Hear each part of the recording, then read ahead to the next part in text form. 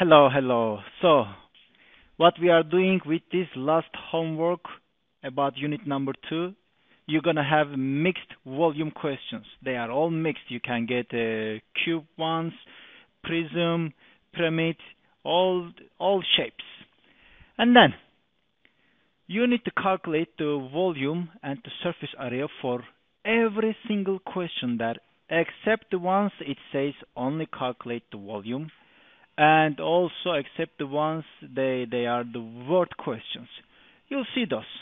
So let's just talk about it. What you need to do here with this homework? Calculate the volume and surface area for each question.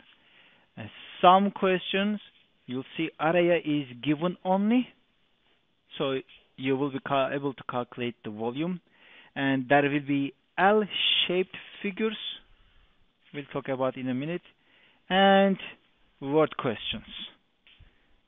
So let's just go. So here is uh, area given question. Over here it's a polygon and the area is already given to us. We don't have to calculate the area which is 15 centimeters square.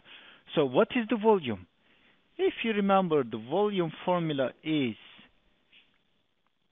B H divided by 3. So now you know the B, which is 15 times H, which is not given yet.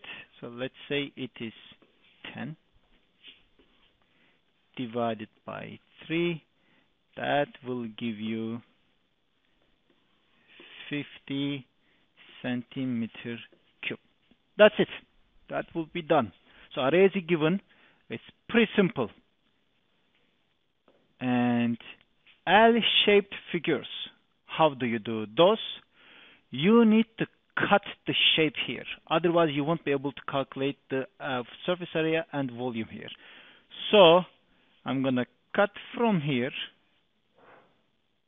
from there, and when I do that, I'm going to have two different rectangle prisms. So, uh, to calculate the volume of the whole shape here, I need to calculate the volume of the first one and then volume of the second one and then I'm going to add them. That will be the answer.